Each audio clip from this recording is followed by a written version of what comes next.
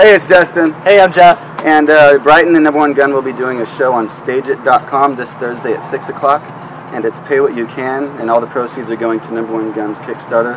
They'll be doing a new record, going on tour, and uh, doing merch and stuff like that. So come hang out. Uh, we're going to be doing both of our sets, and we're going to be doing some cover songs. So let us know what you want to hear. It's going to be a good time. And uh, yeah, see you Thursday, 6 o'clock PST. Boom.